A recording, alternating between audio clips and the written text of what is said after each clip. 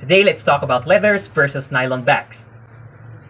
So, here's the thing with the two sides of the coin. Firstly, with genuine leathers, it is of course the original option. Made from an animal's hide ever since hundreds of thousands of years ago, humans are well accustomed to labored leathers and making use of them to make fine goods. Sensitive and must be maintained well, it just screams style in the most organic sense. When we talk of tradition, it is the indispensable choice. All prominent luxury brands use this to this day. Nylons, on the other hand, is the modern answer of brands to fashion wherein vegan leather and faux leather are the name of the game.